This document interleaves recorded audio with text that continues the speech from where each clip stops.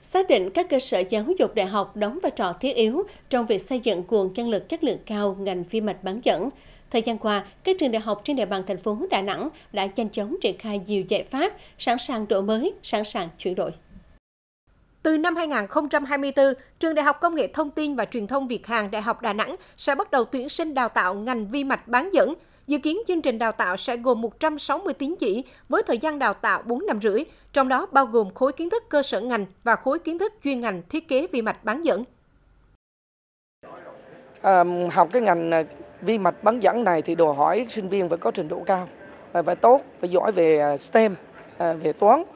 À, và đặc biệt là cái ngành này không chỉ là phục vụ cho cái nhu cầu của nguồn nhân lực trong nước mà cho toàn cầu. Chính vì thế VKU cũng đã có lợi thế. Thứ nhất là điểm chuẩn đầu vào trong các năm qua rất là cao, trung bình là 8 phẩy trở lên thì mới vào được VKU. Thứ hai trong quá trình đào tạo thì chúng tôi chú trọng tiếng Anh, à, ngoại ngữ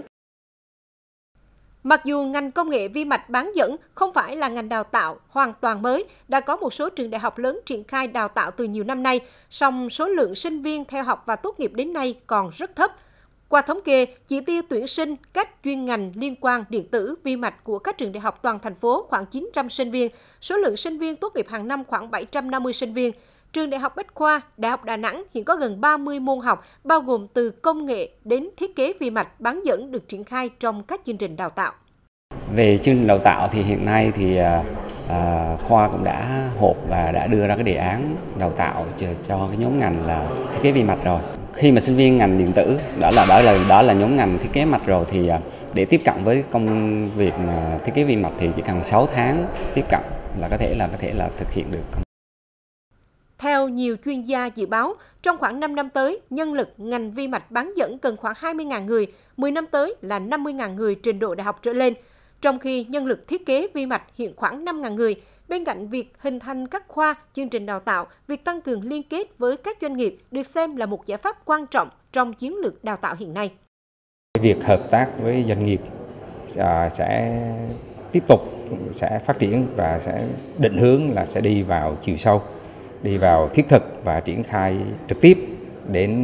sinh viên cũng như là ngay cả đối với cái đội ngũ giảng viên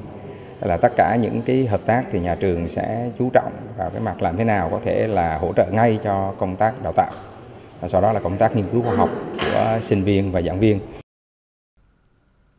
Hiện Bộ Giáo dục Đào tạo đang xây dựng kế hoạch hành động trong toàn ngành để thúc đẩy triển khai đào tạo, gia tăng nhanh số lượng và chất lượng nguồn nhân lực chất lượng cao trong lĩnh vực công nghệ bán dẫn. Các cơ sở giáo dục đại học vì vậy cần phải được tăng cường năng lực cả về đội ngũ giảng viên, cơ sở vật chất và công nghệ, chương trình đào tạo, công cụ phần mềm. Cùng với đó, cần có những giải pháp để thu hút những sinh viên đang học các ngành phù hợp, ngành gần, thu hút nhiều hơn nữa học sinh phổ thông đăng ký vào học những ngành chuyên ngành này trong thời gian đến.